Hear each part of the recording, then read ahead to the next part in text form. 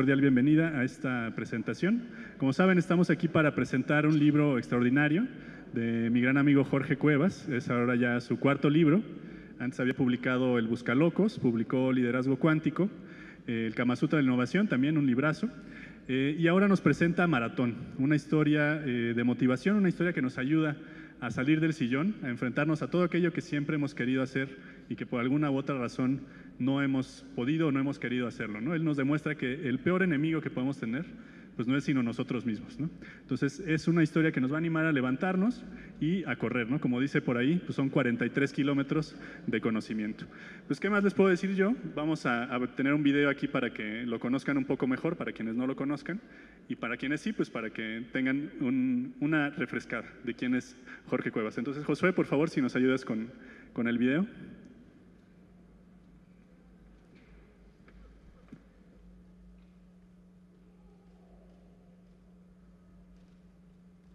Cuando tenía 17 años le dije a un tío que quería ser escritor. Estás loco, te vas a morir de hambre, en este país nadie lee, me dijo. Y con más miedo que ganas, estudié una carrera equivocada. Pero hice algo que cambió mi historia. Un día que se me ocurre mandar una carta a escuelas y empresas. Me ofrecía como conferencista, aunque en realidad nunca había dado ni una sola charla. Pero me llovieron invitaciones de muchos lugares. El problema era que no tenía dinero para hacer los viajes. Ahorré 3 mil pesos trabajando de lo que pude.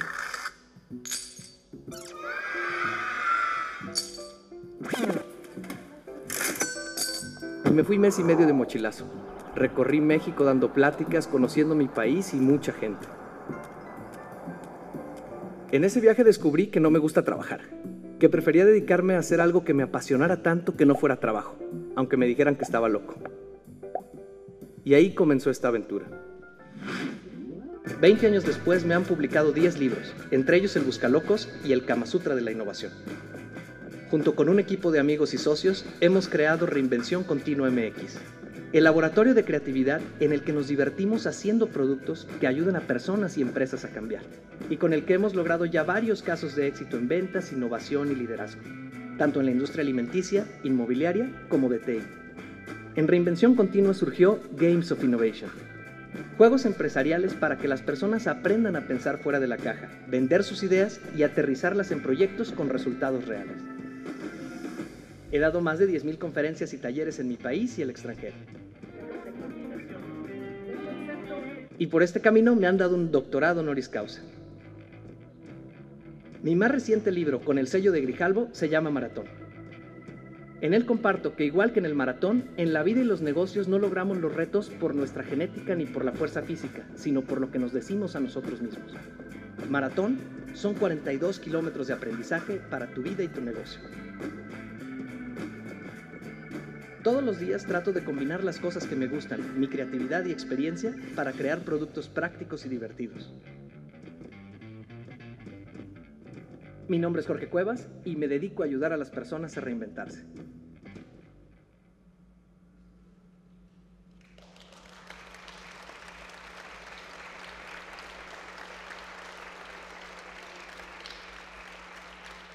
¿Cómo están? Qué gustazo. Espero que pasemos una hora súper agradable.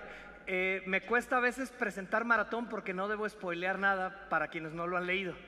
Y lo que me gusta hacer son dos cosas. Uno, compartirles un poco la historia de cómo surgió el libro, porque me parece que un libro es como un hijo y ustedes tienen muchos hijos. Hay unos hijos de la carne, esos cuestan lana. Hay otros hijos de la innovación, esos nos dan la lana para mantener a los de la carne. Pero a fin de cuentas son hijos también. Así lo siente uno cuando hace un libro, literal, como si fuera un bebé. Y es siempre un honor como que las presentaciones del libro es como presentarles al bebé y de dónde viene. Pero luego, para que esto sea útil, me encantaría darles lo que hay detrás del libro que no van a encontrar en el libro, para que ustedes lo conecten con el momento que estén viviendo ahorita en su vida. Porque así como todos tenemos libros o hijos, tengamos hijos de la carne o no, también todos estamos corriendo un maratón.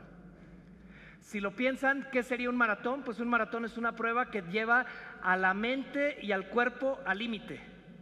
Hay maratones más rudos que el de 42 kilómetros que se corre aquí en la Ciudad de México y en muchos lugares.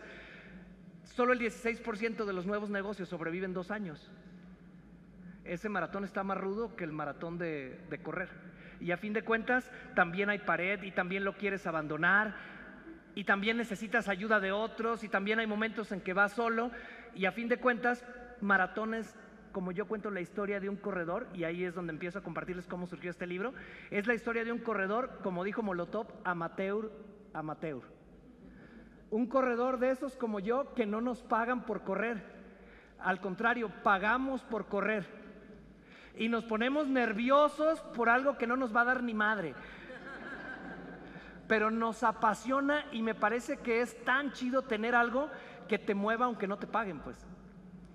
Por eso, incluso en la, pasta del libro dice, en la portada, no sé cómo se llama porque existe el editor, pero en la portada del libro dice que un maratón es eso que hace que te levantes sin despertador.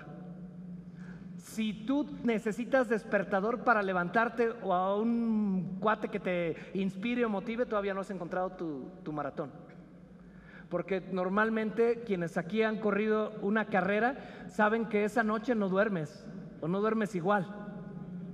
Recomendación, lo que me dijo mi coach es la noche anterior a la anterior es la buena, esa hay que dormir muy bien.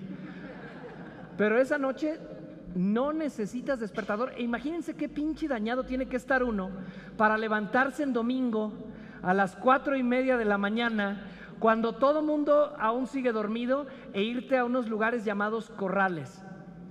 Cuando dicen corrales, se oye, quienes no corren, se oye hasta raro.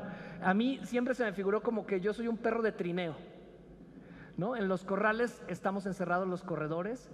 Como, no, no sé si les ha tocado, los perritos de trineo están encerrados porque van teniendo toda esa furia para que cuando salgan corren así. Y bueno, yo soy un perro de trineo. Este, y de hecho, uno de mis mayores errores es que a veces salgo como chiva loca, pero ya he ido aprendiendo poco a poco. ¿Cómo surge el libro? El libro, y por eso para mí era muy simbólico hoy presentarlo, surge en el Maratón de la Ciudad de México. No pretendía ser un libro. Resulta que me fue en el Maratón de la Ciudad de México 2017, en el de la C. Me fue de la chingada, o sea, de la C de chingada. Me fue bastante mal. Y eh, de hecho, de los 10 maratones que he hecho, es el único que no he celebrado y en lugar de celebrar, obviamente no, no, es bueno compartirles qué pasó, pero lo que les puedo decir es que empecé a escribir porque desde que tengo, no tengo uso de razón pues, pero desde que tengo 13 años, encontré que yo no sé si soy escritor, pero escribir es mi manera de fugarme y mi manera de encontrarme. Y a los 13 años que estaba yo en la secundaria federal y me mandó a la fregada una chava, yo empecé a escribir para desahogarme. Y a fin de cuentas, yo empecé a escribir el maratón de la Ciudad de México porque quería sacar afuera toda la porquería de frustración que traía por lo mal que me fue. Lo empecé a escribir, pero me pasó algo curioso había una guerra en ese maratón en mi cabeza. No sé si a alguno de ustedes les, ha pasado que traen aquí una, una pinche guerra en todo, eh, en ¿Será bueno este producto que hice? ¿Será que si dejo mi trabajo Godín y emprendo me va a ir bien? Eh, eh, eso es rudo, esas voces están ahí.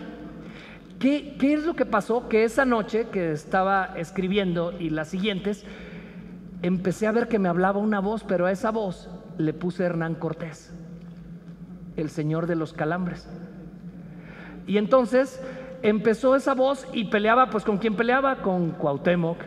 Y evidentemente todos saben quién ganó ahí. Pero además Cuauhtémoc le decía a, Cortés, ya mátame, güey. Y Cortés no lo mataba para que vieran todos los mexicas que tenía controlado el emperador. ¿Y saben qué? Yo en ese maratón decía, ya mátame y no me mató.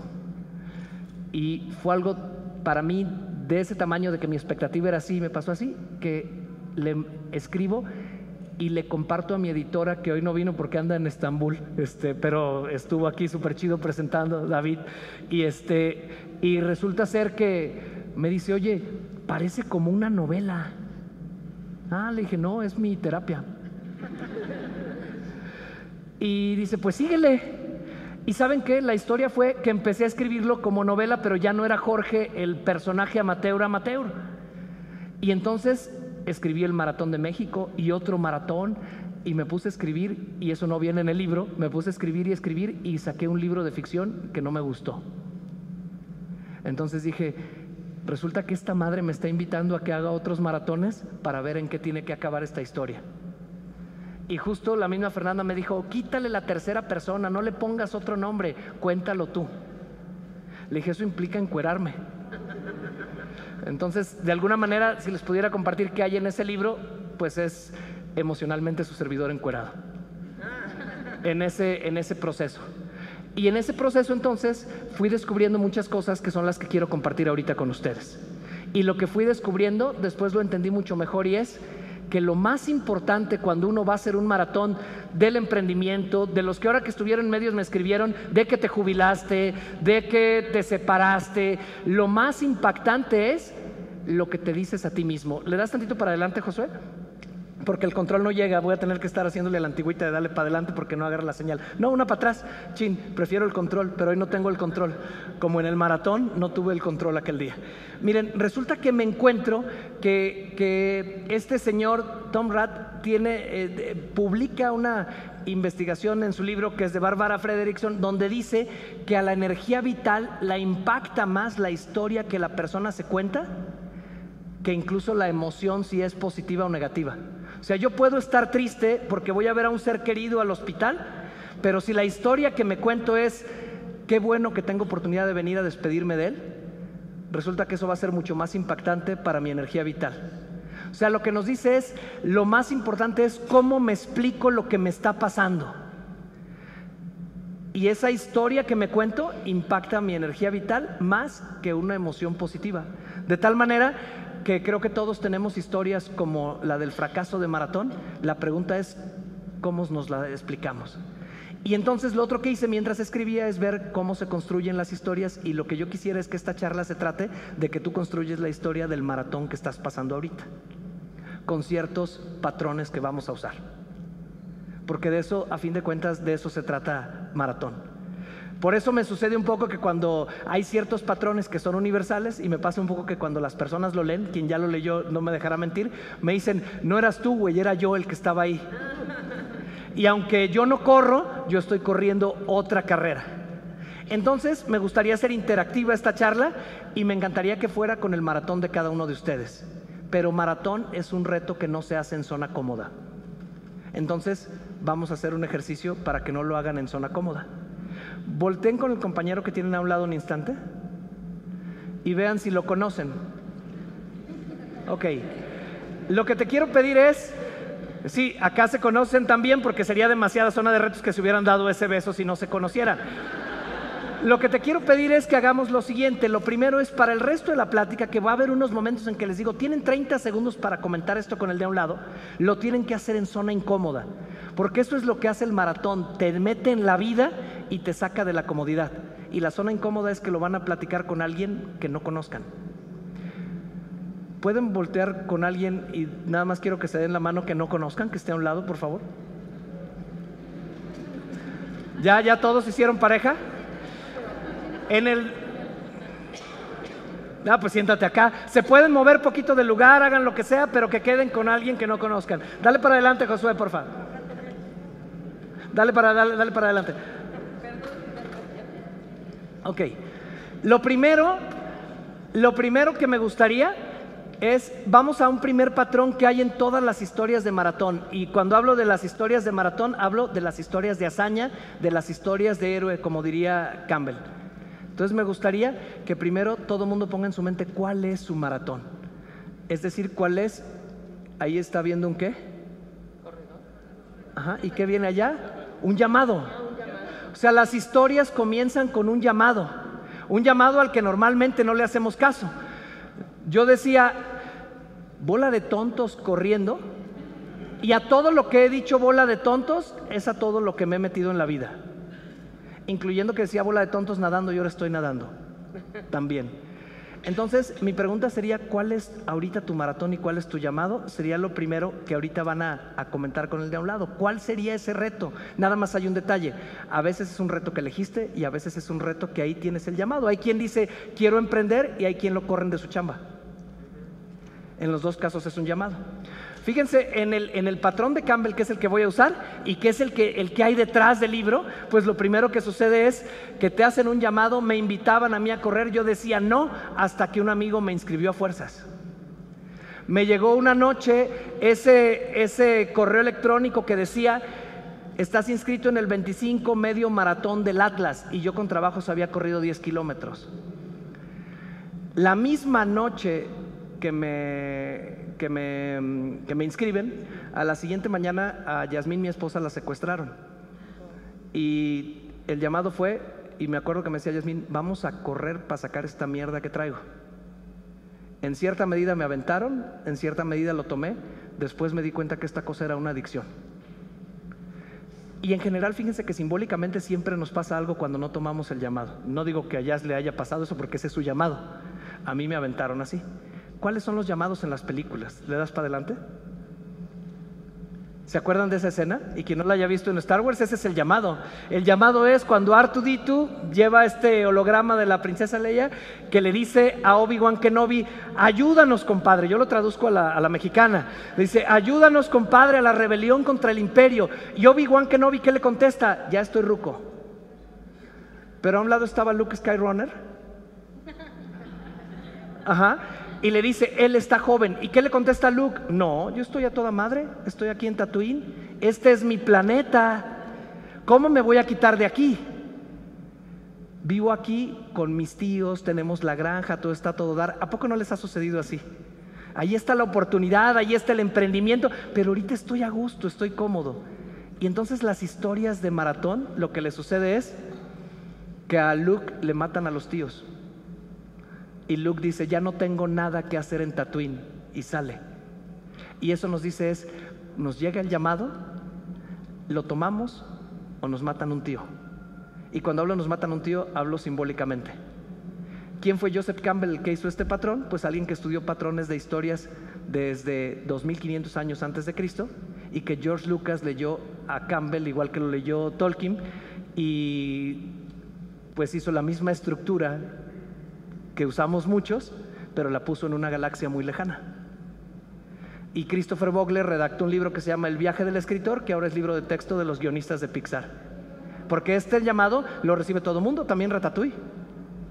Ahí estaba el llamado y quería, y cualquiera puede cocinar. Iba y veía a la, a la este, ¿cómo se llama? A la, a la señora, bueno, y veía gusto en la casa de la señora pero no se animaba a irse porque eh, hasta el papá le dice, mira, tú tienes buen olfato, encuentra la basura, encuentra el veneno en la basura.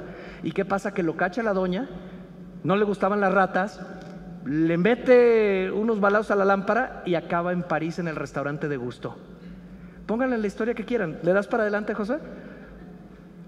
A este le mataron al tío también. Esos tíos, el llamado era una gran responsabilidad. Entonces piénsenlo ahorita, piensen en su historia y en su vida como un maratón. ¿Cuál es el llamado que tienes? Y cuando uno piensa en 42 kilómetros lo asusta, cuando alguien piensa en el nido vacío lo asusta, cuando alguien piensa en que se va a jubilar lo asusta, pero cuando uno lo toma empieza la aventura. Alguien me dijo, me encantaría una vida estable. Le dije, hubieras nacido en otro planeta. Claro, este, este se trata de esa parte. Quiero entonces empezar, pero hay algo muy importante. Le van a decir al otro, al que, al que se acaban de presentar, les voy a dar 40 segundos y le van a decir, mira, en este momento, yo se los puedo decir ahorita porque ya no es del libro, en este momento mi maratón se llama paciencia. Y entonces, ese es el mío. Paciencia con otro proceso de maratonistas que, no estoy, que ahorita sería muy largo explicarles, pero sé que mi título es El Maratón de la Paciencia. En el libro, pues ustedes ya sabrán cuál me tocó cuando lo leen, pero ahorita quisiera que ustedes le pusieran un título. ¿Por qué creen que el título es muy importante? Nos hace tener claridad. Si te preguntan cuál es tu maratón, cuál es tu reto, y no lo puedes decir en 40 segundos, no lo tienes claro. Porque hay muchos, pero ese es el interesante. Y se vale decirle al otro, mi maratón es buscar cuál es mi maratón porque ahorita no hay algo que haga que me levante a las 4 de la mañana y me valga madre el despertador. ¿Sí voy claro? voltear a un lado y también le pueden decir al otro, ¿sabes qué? Ya ubiqué cuál es mi llamado. Mi llamado es que la industria en la que yo estoy está cambiando y ya no puedo seguir con el mismo modelo de negocio, pero me estoy aferrando y me van a matar al tío y el tío es tu modelo de negocio. ¿Ya me la van cachando? Ok, si no lo tienen, se vale mi, maratón es la búsqueda. Y quiero nada más que no nos vayamos con los clichés. Para algunos el maratón es una medalla, un logro, pero a otros el maratón es tan solo volverse a encontrar consigo mismos. Para mí, haber escrito maratón, les voy a compartir también, ha sido un maratón de regreso a las cosas que más me gustan en la vida.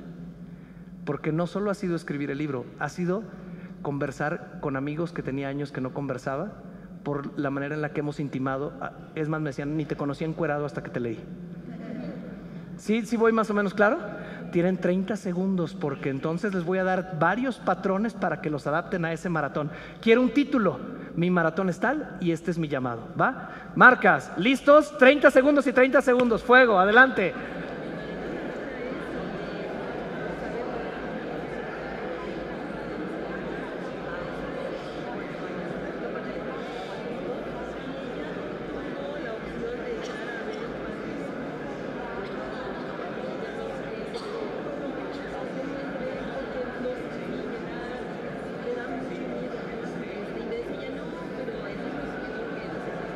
¿Cuál, es? ¿Cómo se llama el maratón?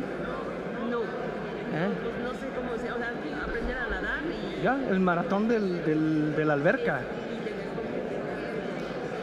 Si tiene miedo, sí es un maratón, porque si no, pues cualquier pendejada. Bien. ¿Y cuál es tu maratón? Ya, bien. No te preocupes. ¿Aquí me oyes bien? ¿Aquí me oyes bien? Perfecto. Pues tengo mala dicción, pero le vamos a echar ganas.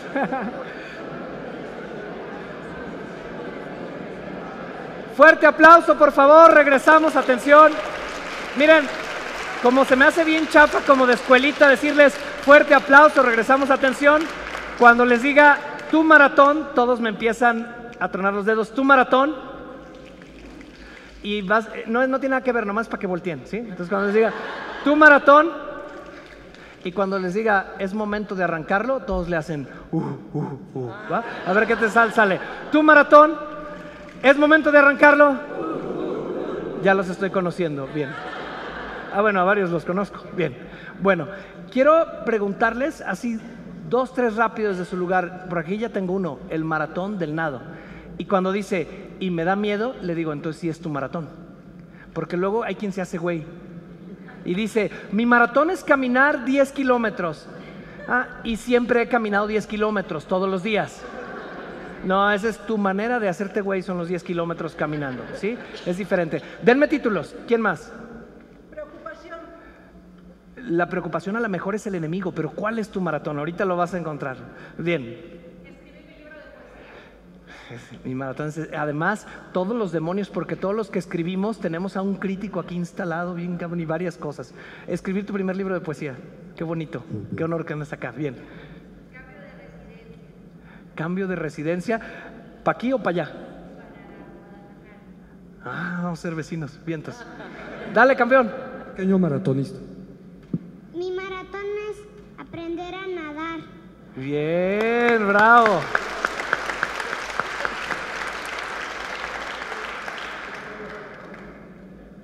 Bien. Ya digo, más o menos ya lo tienen varios. Ah, ¿cuál dijo? No lo, no lo escuché. Mi maratón es ser emprendedora. Bien, tu maratón es emprender.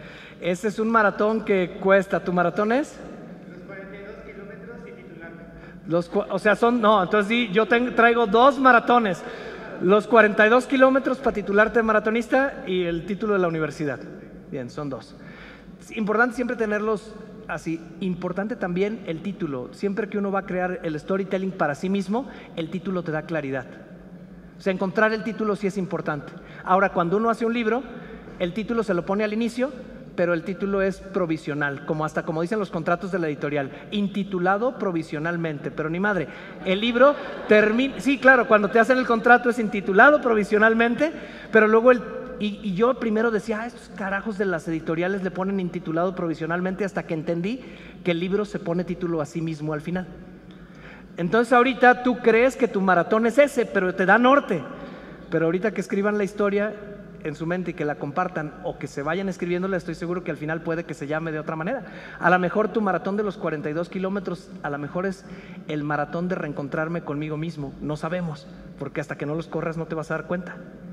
Bien, voy a darles tres elementos primero de, que hay de base en, en- la historia del libro, pero que quisiera que hubiera de base en la historia tuya, ¿va? Y voy al primero que me encanta. Ah, vamos a, ah, perdón, vamos a buscar, ¿qué cosa? Personajes. Perdón, la característica del libro, quienes lo leyeron lo saben, pues es que en cada ciudad se va uno encontrando con los personajes de esa ciudad y con cómo los ve el personaje, de tal manera que en México era Hernán Cortés y Cuauhtémoc y también Maximiliano que le había quitado el gobierno de su cuerpo a, su servidor. Este, y luego eh, en Roma, por ejemplo, es Saturno y un gladiador, etcétera, ¿no? Entonces, bueno, ahorita vamos a encontrar esos personajes nosotros. Adelante. Y el primero que quiero que encuentren, dale adelante. Y el primero que quiero que encuentren, ahí están. Cortés, Vader, que es el que desecha a Luke Skyrunner en Houston, y, este, y Saturno, el que se come el tiempo. Entonces, lo primero que me encantaría que encontraran es ¿Cuál es la dificultad máxima que tú ves en ese maratón que ahorita te planteaste? Aquí nos dijo el miedo, a lo mejor la preocupación. Resulta que yo no sabía hasta después de esto que esto se llama convertir el síntoma en un personaje y es mucho más fácil lidiar con él. Me ha servido tanto que mi hija que baila ballet este, y que baila ante públicos grandes y que se gana sus becas y todo hemos hecho este juego y ella siempre dice, ah, ya le puse nombre a mi enemigo. Generalmente ella como es muy de Harry Potter, el enemigo es el innombrable y no les puedo decir cuál es. ¿Sí?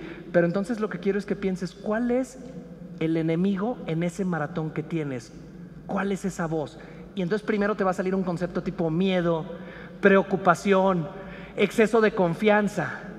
¿Ya lo vas teniendo? Piénsalo en tu mente, ¿cuál es? Pero ahora ponle el nombre de un villano. Entonces, cuando le pongo el nombre de un villano, no me enfrento a otra cosa que a Cortés, el señor de los calambres. Y en ese momento estoy, algo de mi psique lo estoy poniendo afuera y me es más fácil lidiar con él. Váyanle ustedes buscando y ahorita le van a poder decir al otro, y si no lo tienen, en la noche se les aparece, no se preocupen. Porque en serio, nos queda el agua como subiendo al tinaco y lo vamos encontrando. ¿Cuál es? ¿Cuál es ese demonio que tiene unos años ahí hablándote? Y ahí cuando lo tengas, entonces va a ser divertido. Si lo pueden escribir es fantástico. Y si quieren invertir el personaje también se vale, pero normalmente es fácil con un personaje que nos caiga muy gordo y que nos demos cuenta que ese personaje también vive dentro de nosotros. Bien, ese es uno. ¿Estamos claros? ¿Creen que es importante el enemigo para tu maratón? Es vital porque el enemigo, sin enemigo no hay historia. Si no hay miedo, ¿qué chiste tendría nadar? Y hay que identificar nada más de cuál es el enemigo, que es la voz interior, y distinguirlo de la adversidad. A ver si me explico. Que no sabemos si va a haber crecimiento o si va a haber crecimiento y que el país y que la madre, es la adversidad. El, enemigo interior es que estoy en mi cabeza, no, cabrón, si no camina el país, ¿yo cómo le voy a hacer? Y no sé qué, en lugar de estar pensando qué oportunidades hay y cómo le voy a hacer, etcétera. Sí, sí me estoy explicando la diferencia. En el maratón, esa es la adversidad. ¿Qué es eso? ¿Qué es eso que está allá abajo? La altimetría. Entonces, por ejemplo, en la Ciudad de México para mí es un maratón de los más rudos por la altura en la que estamos y por los pinches 8 kilómetros de subida de insurgentes. Sí, son rudos. Pero esa es la adversidad. En Papantla, que ese maratón me encantó, la adversidad son los 30, es Papantla Tajín, sales de Papantla y llegas a la pirámide de los nichos. Ahí la adversidad son los 39 grados de temperatura y los 97 de humedad. Entonces, esa es la adversidad. Pero ¿saben cuál es el enemigo? ¿Qué haces aquí, baboso? Podrías estar en tu casa, esa palabra que te está diciendo.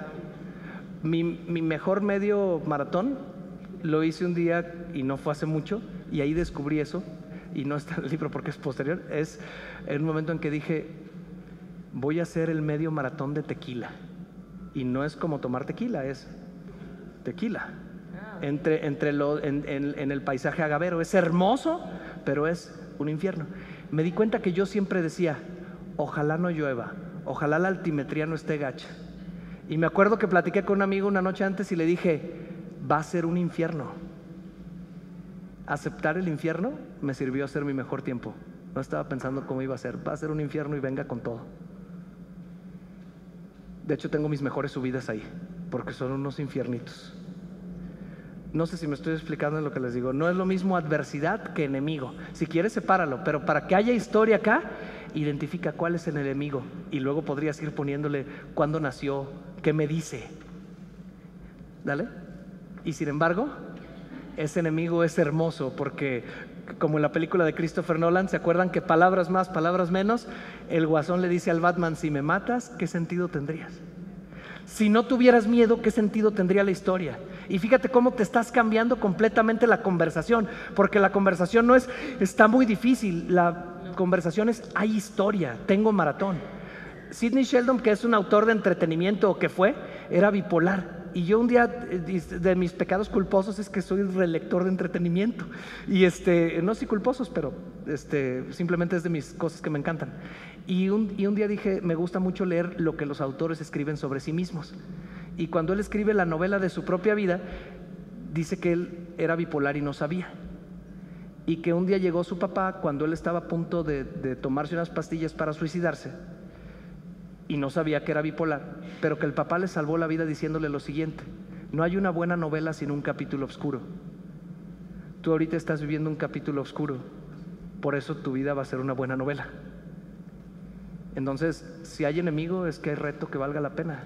Hay algo que contar. Hay algo que cuando estemos a cierta edad o en cierto momento en la mesa de nuestra familia tendremos de un demonio que platicarle que enfrentamos. Si no, no hay historia. Y en las empresas y en las familias, lo que crea pertenencia son las historias. Si no hubiera enemigo, no hay nada que contar. Busquen ahí. ¿Ya lo, ¿Ya lo tienen? Ahorita les voy a decir tres elementos y ya le buscan y le ponen nombre y el que quiera, ojalá, que saliendo diga, ah, voy a ponerle esto. Les recomiendo con el libro, al final, todos estos elementos viene un parrafito de cada uno como un apéndice. Se, se llama lista de aprendizajes. Porque lo chido a mí lo que me encanta es que alguien diga, ah, este corredor amateur, amateur, escribió o noveló la historia de un maratonista, pero pues yo también me voy a echar la mía. Y la pueden escribir o la pueden conversar, porque cuando la escribes y la conversas, la entiendes. Vientos. Dale. Esta es la otra ventaja del enemigo. El enemigo te hace mejor. Cristiano ha hecho mejor a Messi y Messi ha hecho mejor a Cristiano aunque ya este compande en otro lado, pero, pero el, el enemigo te despierta, es el 20% de la condición mental que requieres. Algo, algo que desafiamos es el 20%. Nos falta mucho, ahorita lo vemos, pero el enemigo es clave. No habría libro sin enemigo. Voy al segundo, dale. Sí. Sí. Primero, ¿cuál es tu enemigo? Les voy a dar como un minuto para que traten de identificar en su momento cuál es el enemigo o les voy a dar tres opciones. O cuál es su sable de la confianza. ¿Qué es el sable de la confianza? Fíjense cómo en las historias no siempre vas por la gran meta, sino primero vas a conseguir los planos de la estrella de la muerte. Claro, el sable de la confianza es una pequeña meta parcial que te va a dar confianza. Si es el maratón de bajar de peso, que también me lo pusieron mucho en los comentarios que tenía, pues no es así como en enero. Cuando acabe 2019 tendré 20 kilos menos. El sable de la confianza es, esta pinche semana no me voy a comer el cheesecake. Y si llego al domingo y no me eché el cheesecake, tengo la confianza para lo que sigue. El maratonista no es sí, llegaré al 42 en tantas horas y de tal manera, no. Tú vas poniendo, estos primeros cinco kilómetros son la primera carrera. Si logro estos primeros cinco kilómetros sentirme relajado, guardar energía, tengo confianza para lo que sigue de la carrera. En tu maratón, ¿cuál es el sable de la confianza? Ya me van cachando. Es como algo que tomas y que dices, he estado pensando tan arriba que no tengo confianza todavía. Necesitas algo pequeño que digas ya. Como el vendedor que dice, mira, con uno que me diga que sí, va. O como el goleador que dice, con un gol que meta. Como es, con uno que, con, un, con una pieza de mi libro con la que me sienta tranquilo, lo demás va a llegar solito. ¿Sí fue claro? Siguiente, dale. Tenemos dos hasta ahorita. ¿Cuáles iban? ¿Uno cuál? El enemigo. Dos. Y viene uno de mis favoritos. Fíjense, todo esto aparece en las historias que estábamos platicando. El maestro. Si tu maratón no requiere de un mentor, de alguien que te oriente, de alguien que te ayude, no es un reto real. No es de suficiente dimensión. O andas en la soberbia, compadre. Me expreso porque fíjense cómo las grandes historias, dale para adelante, siempre tienen un señor Miyagi. Y en, en- en gran medida, los fracasos que vamos teniendo es que los fracasos son hermosos, son parte de la historia, pero ¿quién es tu maestro en este, en este maratón que te planteaste? Quiero ser emprendedor. ¿Y quién es la persona que va a ser mi mentora con la que me voy a conversar de esto? Voy a nadar. ¿Y quién es la persona que no sabía nadar y que nadó? ¿Y quién es el que bajó de peso? Es que no me ha llegado. Pues sal a buscar, compadre.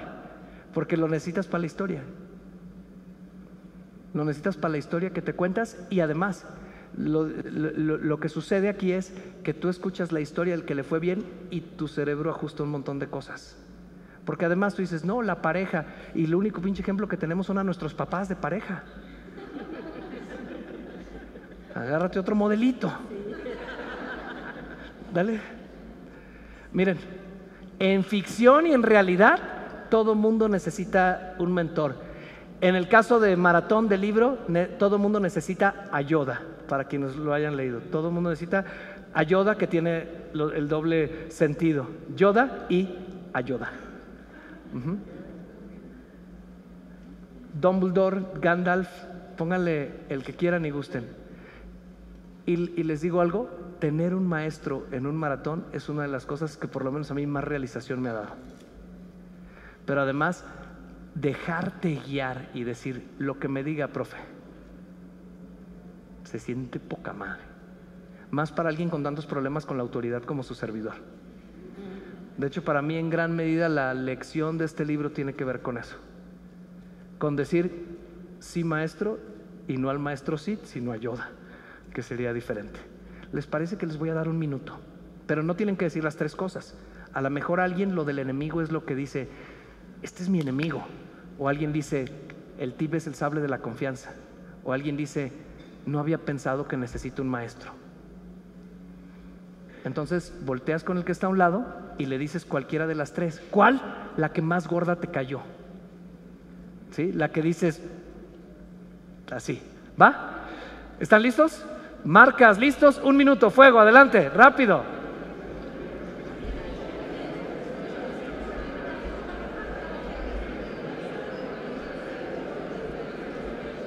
Bueno, bueno, bueno, bueno, bueno. Cambio, cambio, cambio. Ajá. Sí, claro. El alumno,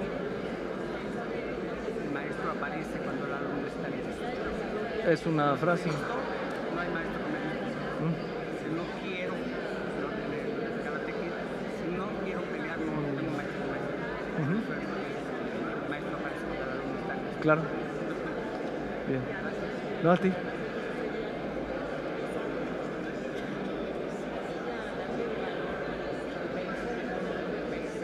Pacer, ahorita lo explico.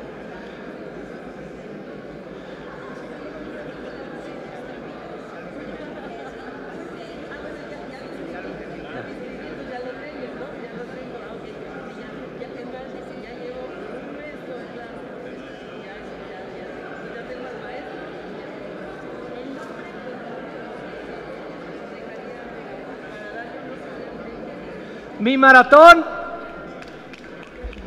¿Listo para arrancar? No, ahora estuvo muy frígido eso. Mi maratón. ¿Listo para arrancar? Solo para tener una idea, cada quien comentó una. Insisto, ya aquí es, es la charla, presentación del libro, pues cada quien ya después le sigue, incluso se pueden dejar guiar por el apéndice que les comenté. Pero aquí hay tres cosas, el enemigo hasta ahorita, luego el sable y el maestro. Comentaron una cosa, levante la mano a quién le hizo más sentido y lo que comentó fue lo del enemigo. Bien, más bravos, bien. ¿Quién lo que comentó fue el sable de la confianza? Bien. ¿Y quién fue el maestro? Excelente, bien. Es nada más como para tener, como para tener este, una idea. Quiero decirles, cuando ustedes lean el libro y, los que ya lo leyeron, si ustedes se meten a mi celular, no van a encontrar que después del fracaso que yo tuve, este, entrenaba con el único jalisciense que ha ganado dos veces el maratón de Guadalajara. este, Margarito Alonso, sino que en mi teléfono dice Yoda. Y, y lo que les quiero decir es que también a veces la fantasía que uno puede vivir en su cabeza hace cosas fantásticas. Porque en las películas, en las novelas, en las historias, hay un montón de referencias que tienen que ver con una sabiduría universal y que pones la palabra y pues Yoda, ¿qué es? Yoda es el mentor por excelencia en cualquier, eh, en cualquier contexto que nos encontremos. Si alguien pone Dumbledore, está bien. Y si alguien pone lo que sea, pero es un mentor, su cerebro ajusta todo a lo que, a lo que están diciendo. Vamos a otros tres puntos, lo cierran y nos vamos al final porque esta madre dura muy poquito. Espero que no se nos duerma. Miren, este es de los puntos que para mí son más importantes. Y es, en esa historia, ¿tú a quién vas a ayudar que esté igual de jodido que tú? Para ayudarte a ti. A ver si me explico. Normalmente decimos, ya que tenga las bolsas llenas, ayudo, pero las pinches bolsas nunca las tienes lo suficientemente llenas. Y resulta que el otro día veía yo que en Alcohólicos Anónimos, cuando alguien se compromete a ayudar a otra persona a no tomar, durante dos años no toman el 40%, no de los que ayudaron, no de los que fueron ayudados, sino de los que ayudaron. Me voy explicando, o sea, el que apadrina es el que no toma, por solo el 16% de los demás. O 15, se me fue ahorita el dato, perdónenme que le, que le cambie un poquito, pero fíjense, el, el dato es una fregonería. O sea, es cuando yo ayudo a alguien, yo mejoro. Oye, me voy a poner a dieta así, ¿sabes qué? Voy a agarrar a tal y, oye, al que se deje, porque a veces no quieren, pero no desde la perspectiva de, oye, mira, te voy a ayudar para que bajes. No, oye, si quieres yo te puedo ayudar, está esto. Si yo lo estoy ayudando, impulsando, te voy a hablar, te voy a recordar, lo que sea. Si yo le ayudo, en realidad me estoy ayudando para ayudarme.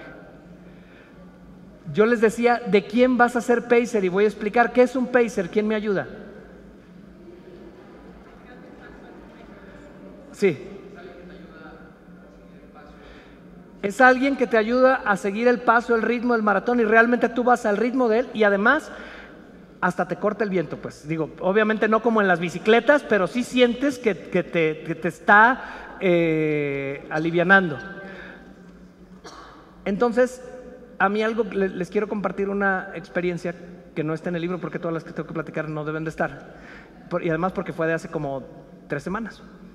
Yo ando un poco lastimado, solo me, de- dejan correr ahorita 11 kilómetros en lo que me recuperaba y estaba en la presentación del libro en Culiacán, en el maratón de Culiacán.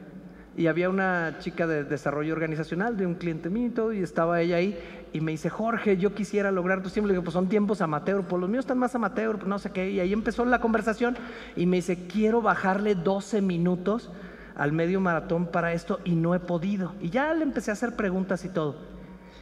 Y le dije, ¿quieres que te ayude mañana? Ella no me dijo que si, que si la ayudaba. Yo la quería ayudar y ahí experimenté algo fantástico. Le dije, te veo en el kilómetro 10 porque me dejan correr 10, 11. Le dije, solo hay una condición, en cuanto llegues ahí me das tu reloj. Y me dices, ¿cómo vas? Mi sospecha era, pero no por otra cosa, sino porque a mí me, había pasado, que luego veo el pinche reloj y digo, voy muy rápido y me asusto y le bajo. ¿No? Entonces dije, ¿sabes qué? Échame el reloj. Entonces la neta es que la manipulé bastante. Porque íbamos corriendo, iba revisando las cosas que ahora yo he aprendido y además pues ella iba corriendo pisando como si se tratara de hacer un hoyo en el piso, ir, entonces oye vete soltando, avienta las piernas de otra, todo lo levanta la rodilla, todos los temas que yo no doy tips de correr, pero simplemente ella es mi amiga y él lo podía hacer. Y le dije, ¿sabes qué? Vamos como 20 segundos más lentos de tu tiempo normal. Le dije, pero íbamos como 20 segundos más rápido que su tiempo normal. Pero mi experimento era ella, ella no va a saber. Y ya íbamos, y ya íbamos, y ya íbamos, y ya, oye, voy- no, tú no pases por agua, yo iba por agua, yo la mojaba, yo esto, etcétera. Íbamos así, quien conozca Culiacán, íbamos a dar la vuelta por la Obregón, que es donde se cierra. Y cuando íbamos ahí, ella le iba a bajar 14 minutos a su tiempo, iba a derrumbar la barrera y todo. Venía muerta, o sea, ella decía, yo no me preparé bien o no sé qué venía pensando. Y cuando cruzamos, damos la vuelta en Obregón, esto es lo que les quiero decir. Yo dije, quiero verle la cara. Entonces le dije, ¿sabes qué? Disfruta tu cierre. Ella no sabía el tiempo, nunca supo el tiempo hasta ahí. Y pues ella iba a ver el tiempo en el arco de llegada. Entonces la dejo y ¡boom! Me echo un sprint y me voy al arco de llegada. No, pues, ¿qué les puedo decir de cómo rompió a llorar cuando vio el tiempo y todo? Este, pero lo que les quiero decir es que yo creo que yo estaba más feliz que ella. Y en ese sentido es, y descubrí un chorro de cosas que hago mal al correr. Claro, porque cuando tú vas viendo y vas viendo su técnica, vas recibiendo un feedback bien interesante. La pregunta de las tres finales, la primera es, ¿a quién le puedes ayudar para ayudarte? Nomás por favor, inflámenme el ego tantito. Levanten así la barbilla. Volteen así con el de un lado. ¿Se acuerdan cómo le hacía el Bush, no? Ahora pienso que Bush es un santo con este nuevo cabrón, pero bueno, es otra cosa. Este, por favor, alfilercito. Es decir, no es te voy a ayudar porque me vas a deber. Es te voy a ayudar para ayudarme. Y eso es un elemento interesantísimo en la historia. ¿De quién vas a ser pacer? Pues si lo pudiéramos poner así. Y ser pacer te va a obligar a correr mejor. ¿Va? Dale. Segundo de las tres últimas. Dale, dale. Dale, dale. Bueno, la otra es que no puedes hacer un maratón si no haces algo diferente a lo que venías haciendo y que implica romper algo que no quieres romper. Dicho de otra manera, si entreno seis días a la semana de la misma manera y no quiero hacer series y no quiero hacer, eh, y no quiero hacer entrenamiento cruzado, nunca mejoro. Normalmente mejorar implica hacer algo diferente totalmente a lo que venías haciendo. ¿A quién vas a ayudar y qué cosa vas a hacer diferente a la que venías haciendo que te haga mejorar exponencialmente? Porque mejorar linealmente es entreno cinco minutos más y le quiero. No, espérame, haz algo distinto, cambia el enfoque en algo. Dale. Y la que más me gusta de todas. Entonces, ¿se acuerdan? La primera ahorita fue a quién vas a ayudar. ¿Qué cosa tienes que hacer diferente? Y ahorita te lo dije y tú ya estás. Es que estoy bien a gusto. Ahí está. Y esta me encanta, es de las que más me gustan. Y ahorita aquí está Josué, eh, socio y amigo, porque él no me va a dejar mentir. Me llevó a dar una plática con unos chavos de fútbol americano. No le entiendo ni madre al fútbol americano. Ah, me dice, oye, los compañeros de mi hijo, el fútbol americano, leyeron tu libro, que si les das una plática antes del partido, porque van a jugar un partido con un equipo que lleva dos años invicto. Y ellos apenas se juntaron a jugar. Y pues tú les vas a dar una plática para que ganen. Y dije, la madre, ¿no? La expectativa de qué tamaño. Llego, padrísimo, veo el entrenamiento, me puse a ver algo de fútbol americano, a tratar de entenderle a las reglas, todo, aunque pues yo no les iba a hablar de fútbol americano. Y además llego y el coach, sí, diles para que ganemos y todo. Entonces dije, ok, yo no voy a llegar a decirles no van a ganar. Yo, yo llegué y les dije otra cosa, que es lo que les voy a decir ahorita. ¿Qué es lo que no se pueden permitir en ese partido? Me vale madre, yo no les hablé de ganar o no ganar. Júntense y quiero que me digan qué es lo que no es negociable, que ustedes pase lo que pase, no lo pueden perder. Júntense y díganmelo. Se juntaron y me dijeron, la dignidad porque ya jugamos con ese equipo. No sé hace cuánto habían jugado, seis meses o algo así, Josué, X tiempo. Y les habían puesto una madriza, una arrastrada. Y ya cuando iban como 14-0 ya se dejaron ir y, dijeron, lo que no podemos perder es la dignidad. Y empezaron y sí, y nos lo vamos a recordar y no nos vamos a caer y va a pasar. ¿Y qué creen que sucedió en el partido? Perdieron. Perdieron. Pero me dice, me decía Josué y que los papás decían, es que ve cómo están jugando, dice, y que incluso ellos dijeron, les hicimos ver que son humanos a estos cabros. Claro, es, es un, eh, eh, las realidades hay que considerarlas, pero ellos tenían mucho más potencial del que se esperaba. Ahora, les platico todo esto porque lo que más me encantó es cuando ya llega como a los 15 días y me dice, había visores. Y hay dos chavos con beca de 100% por ese partido. Entonces, pues a veces las ganancias son otras. Mi pregunta es, ¿qué es lo único que no te puedes permitir perder en ese maratón? Porque a lo mejor alguien dice, quiero emprender, pero lo único que no me puedo permitir es cumplir 30 o 60 o 50 y no, ver- no, no haberme animado. Prefiero arrepentirme de haberme animado. No lo sé. O a lo mejor, ¿sabes qué? Yo no sé si llegan a dar esa velocidad, pero lo único que no me puedo permitir es no entrenar menos de una hora diaria. Oye, no sé este, el libro, cuál sea el destino, pero lo único que no me puedo permitir es no publicarlo por X o Y razón.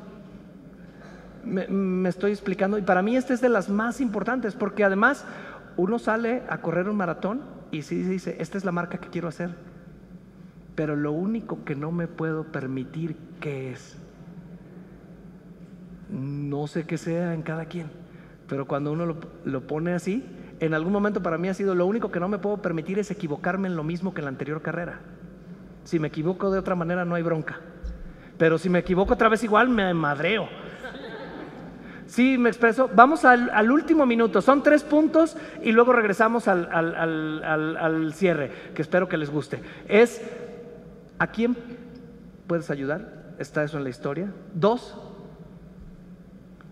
¿qué cosa diferente podrías hacer? Y tres, ¿qué es lo único que no te puedes permitir? ¿Y sabes cómo sabes que contestaste bien en tu historia?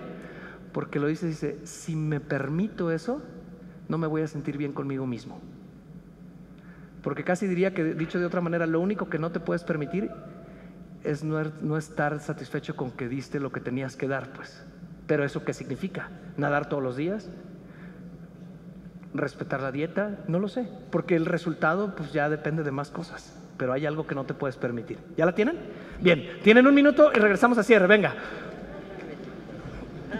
Espérame. Ah, ocho y preguntas, ¿verdad? Ah, y, y leer la firma. Yo creo que sí, porque voy a regalar un par de libros. Porque tenemos la firma y aquí nos van a sacar unos 30. Sí, ¿manda? Sí, me voy a quedar firmando, ahorita te lo firmo así.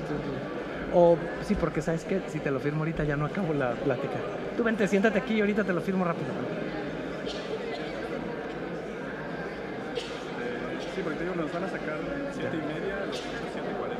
Ya. Pues nada más para considerar eso, porque veo que está lleno. Sí, no, súper. No, entonces aquí lo, lo- Sí, nada más para que tengas tiempo de, de firmarlo y todo. Si quieres hacer un, dos, tres preguntas, vamos a hacerlo. Sí, sí. Pero nada más para que no nos coman tiempo, porque si no nos empiezan a correr. Ya. Deja, entonces voy a decir, voy a hacer una cosa de cierre y preguntas y listo.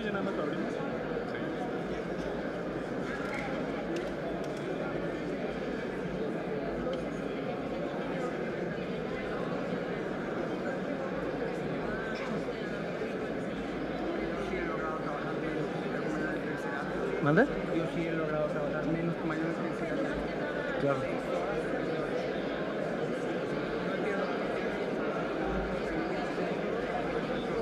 Porque si no te come el diablo.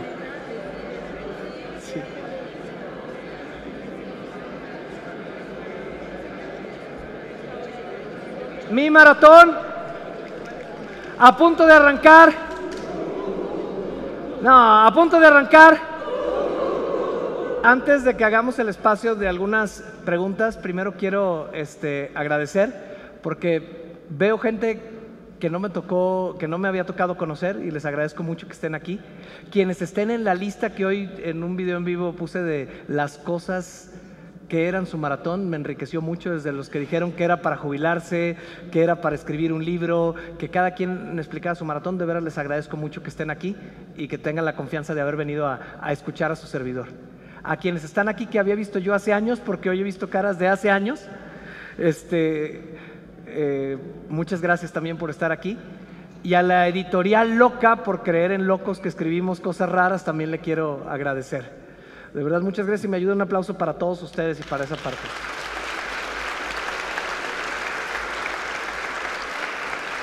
Antes de las preguntas, como al inicio les dije que les contaba la historia del libro, simplemente quiero cerrar también con la historia del libro, que también me hace ver que a veces el resultado, casi diría el KPI, el indicador, el logro, vale madre comparado con otras cosas. Y en, en particular yo estoy muy contento ahora porque siento que en 11 libros que he hecho ya estoy aprendiendo, porque lo más difícil es entregarte y a veces me costaba algo de trabajo y ahora sentí que este libro es mucho más personal. Y les quiero compartir qué es el libro para mí al, al final del camino. Yo leí un día que un escritor puso, un escritor que hoy vive en Alemania, puso que él, con que 20 años después de su muerte, alguien se encontrara su libro en una biblioteca y lo leyera, él sentiría que valió la pena. Yo soy maratonista, llevo 11 y a los 42 sé que voy a escribir súper chingón. Este, pero, pero cada vez siento que voy mejorando. Pero este libro en particular tenía una peculiaridad. Yo este libro me imagino, y estoy seguro que así será, esperando que se me permita a mí morir antes que mi hija. Y este libro yo lo escribí y lo terminé pensando en que cuando yo no esté, un día mi hija lo lea y pueda ver la pasión con la que yo corría maratones. Y de alguna manera quede ahí atrapada porque pues todo se lo come Saturno. Y en ese sentido yo quisiera invitarlos a que el maratón que estén haciendo se den cuenta que no es el resultado del emprendimiento, es la huella que dejaste con que te hayas entregado a esa situación. Y entregarse es algo que te permite ser corredor. Que tu maratón sea algo en lo que te puedas entregar, porque cuando te entregas no beneficias a los demás, sientes que estás vivo. Y para mí este libro fue entregarme y pensar que esa entrega iba a trascender cuando yo no estuviera aquí. Muchas gracias, ha sido un gusto compartir esto con ustedes. Y me dice David que tenemos tres preguntas. Preguntas, mentadas, lo que sea está bien. Bueno, muchas gracias a Jorge, sobre todo. Pues creo que todos van a salir de aquí corriendo sus propios maratones. Entonces vamos a tener espacio solamente para tres preguntas porque después eh, vamos a hacer la firma de libros eh, y como saben pues tenemos el tiempo eh, muy medido. ¿no? Entonces voy a pedir que sean tres preguntas concretas por favor y luego pasamos a la firma. Muchas gracias a todos. Aquí una, dos y... Qué bien. y- Ah, y- ¿Aquí está bien? Sí. Aquí está bien. Este, ¿Cómo se llama? Gabriela Barrientos. Jorge, ¿qué piensas de las personas que hicieron trampa en el maratón? que se hicieron pendejos solos.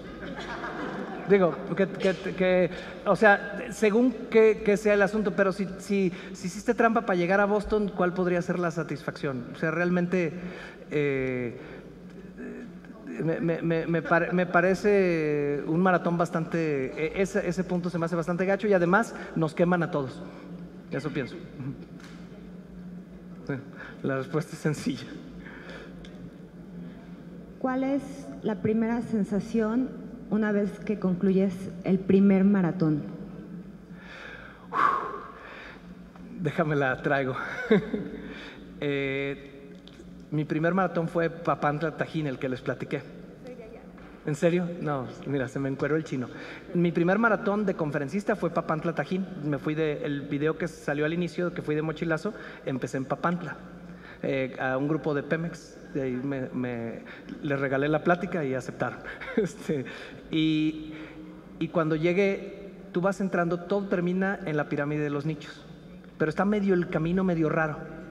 Entonces, a mí nunca se me va a olvidar que me decían a la derecha. Y yo le pregunté ¿y cuál es la derecha? Porque yo ya venía de los 39 grados y de la humedad, ya venía despedazado.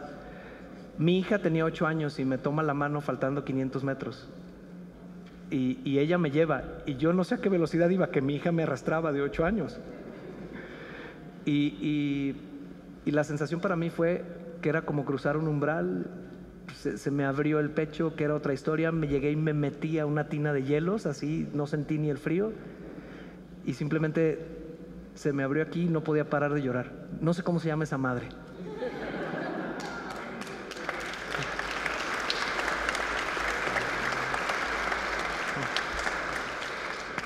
Jorge, Jorge Cervantes, qué gusto conocerte, me has dado mucha luz.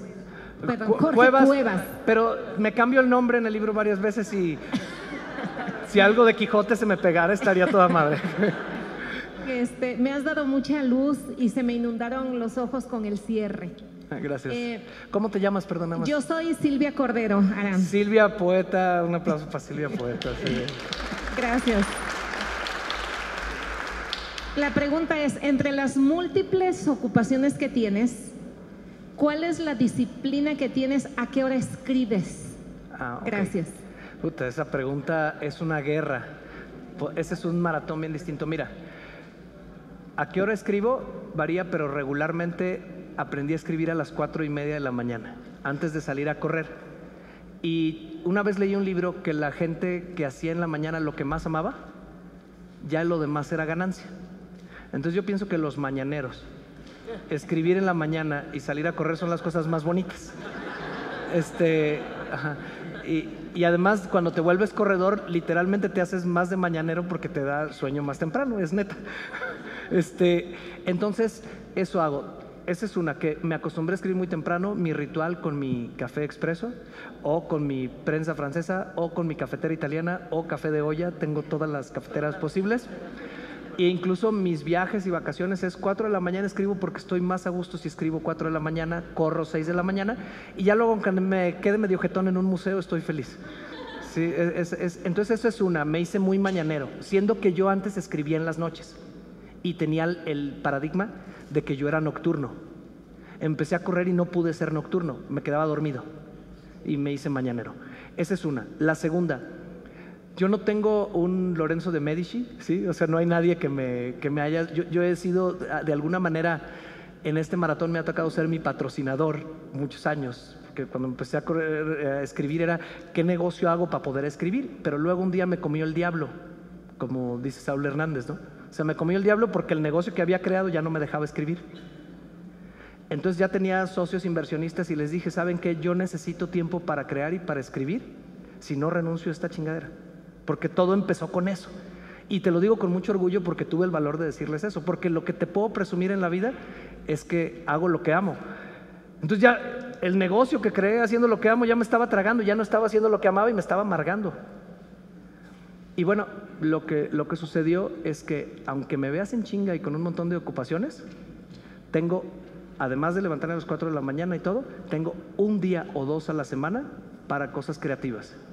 Y si no lo tengo, me lo compensan la siguiente semana. Y lo peleo como, y lo digo con mucho cariño porque amo a mi perro, lo peleo como un perro. Porque es muy fácil que tú me digas, Jorge, un cliente nos va a pagar tanto. Entonces yo te peleo como un perro, pero en realidad me estoy peleando conmigo porque a mí también me tienta. Pero yo sé que si dejo de escribir y de crear en 20 años ni clientes voy a tener. Es un poco eso, es, es pelearlo como un perro y a veces con el miedo de decir, no atendí un contrato por estar haciendo esto, pero al final puedo estar aquí hoy con ustedes con un libro que ni siquiera tiene tanta relación con mi negocio, sino que es un libro que es de corazón. Y ya no sé si te contesto y te podría decir, si diera un consejo, no te diría, no, porque eso de pelear como un perro me recuerda otra cosa, defender como un perro, espérame, no. Este, chin, no, y no me gusta el personaje. Este, defiende a muerte ese tiempo y, la- y después alcanza el tiempo para todo. Muchas gracias. Ah, este, una pregunta más. Acá, Ah, hicimos cuatro, A ver, vientos. Este, tienes dos actividades, una es espléndida. Cuando te dicen, ¿sabes qué? Que ya no puedes correr porque tienes des- desgastado los cartílagos, ya no puedes ir a varias partes a correr, que es tu actividad principal. Pero tienes otro maratón que es el escribir. Son dos músculos que necesitamos ejercer, la escritura y el físico. Cuando te digan, ¿sabes qué? Desgaste de cartílagos ya, no puedes es más ni subir escaleras. ¿Qué actividad o qué maratón vas a hacer? Escribir y recomiendo nadar. Eso es todo. Gracias. Perdón, quisiera, y creo que a lo mejor de esa manera puedo concluir. Saturno se come todo. O sea, Saturno ahí está comiéndose corredores, pero en realidad viene de Cronos en griegos y Saturno en los romanos, y Saturno se come todo. Y solo le damos un par de chingadazos en la vida para detener el tiempo. Entonces, indudablemente, sé que un día voy a dejar de correr y encontraré otro maratón y luego se acabará ese maratón y ya no sé qué chingados. Pero ahorita estoy en este y estoy disfrutándolo y te agradezco mucho tu comentario. Muchas gracias. Gracias a todos, buenas noches.